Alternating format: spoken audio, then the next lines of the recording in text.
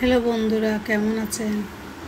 আজ আপনাদের জন্য নিয়ে আসলাম রুই মাছ দিয়ে, আলু দিয়ে একটা বিশেষ মজাদার আইটেম আশা করি দেখবেন আপনারা। এখন মাছটা ম্যারিনেট করে নিব, প্রথমে দিব একটু লেবু রস। লেবু রসটা অবশ্যই দেওয়ার চেষ্টা করবেন। একটু হলুদ গুঁড়ো, লবণ অল্প মরিচ গুঁড়া, সরিষার তেল দিয়ে মাছটা ভালো করে ম্যারিনেট করে নেব। একটা একটা মাছ সুন্দর করে মাছের মধ্যে সব মাছের গায়ে লবণ, হলুদ, যাতে ভালোভাবে মাখে, উল্টায় পাল্টায় সুন্দর করে ম্যারিনেট করে নিব। ম্যারিনেট করা শেষ। এক পাশে রাখব দশ মিনিট মতো। ম্যারিনেট করে দশ মিনিট রাখব। একটা প্যান নিয়ে নিলাম, তেল দিয়ে দিলাম পরিমাণ মতো।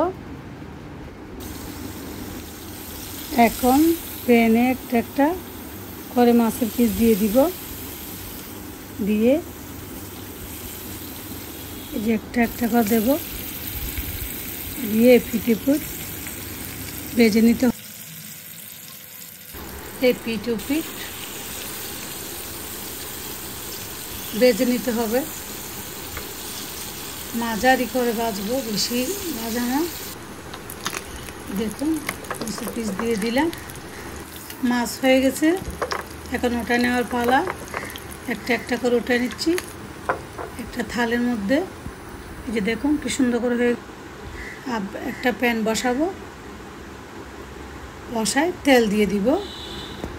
দো কোয়া রসুন কুচি দিয়ে দিব। আবার ভালোভাবে নেড়ে চেড়ে নিব।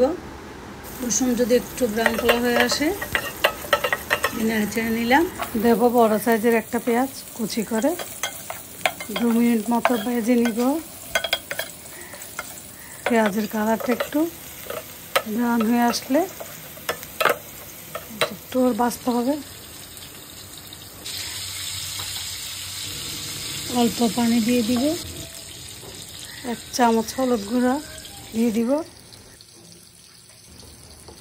ধনিয়া গুঁড়া দিয়ে দিব, এক চামচ মতো। একটু জিরে গুঁড়া। তারপর দিব মরিচ গুঁড়া। তারপর দিব লবণ। আন্দাজ করে দিবেন। এখন দিব অল্প পানি। একটু ভালোভাবে নেড়ে চেড়ে নিব। সব কিছু যাতে মিশে যায়। সব কিছু মিশিয়ে এখন দেব আলুটা। দিয়ে দিলাম আলু। দেওয়ার পর একটু নাড়বো আলুগুলো। দু তিন মিনিট মতো নাড়তে হবে। বন্ধুরা, আশা করি আজকের রেসিপিটা আপনাদের ভালো লাগবে। দেখে একটু হতে দিতে হবে আলু একটু নরম হতে হবে। এই যে হয়ে আসছে, সাথে একটু পানি দিয়ে দিয়েছিলাম। এখন একে একে মাছের পিসগুলো দিয়ে দিব। এই যে দেখুন, সব মাছের পিস দেওয়া শেষ। মাছের পিসগুলো দিয়ে উপরে দিয়ে এবার দেব টমেটোটা টমেটো কেটে ভাবে ফালি করে করে দিয়ে দিব। টমেটো উপরে দিয়ে দিয়ে একটু পরে একটু পানি দিয়ে দিব। এক কাপ, দেড় কাপ মতো পানি দিয়ে দিলাম। তারপর দিলাম কয়েকটা কাঁচামরিচ উপরে। জুল বেশি হবে না, মাখা মাখা হবে মাছটা। এখন হতে দিতে হবে চার পাঁচ মিনিট মতো। একটু দেখে দিলাম। হয়ে আসছে মাছটা। দেখুন কি সুন্দর হয়েছে। একদম লোভ লাগছে। দেখো বন্ধুরা। এখন পরিবেশনের পালা। আমি একটা মাটি থালা নিয়ে নিলাম। ওখানে মাছটা আস্তে আস্তে উঠাই নিব। এবার একটু আলু উঠাই নিচ্ছি। ঝুলটা দেখুন একদম ঘন।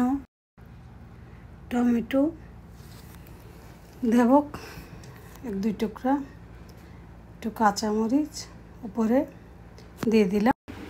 হয়ে গেছে মাছটা। এই দেখুন, আমি একটা মাটি প্লেটে সাজিয়ে নিলাম। কত সুন্দর হয়েছে।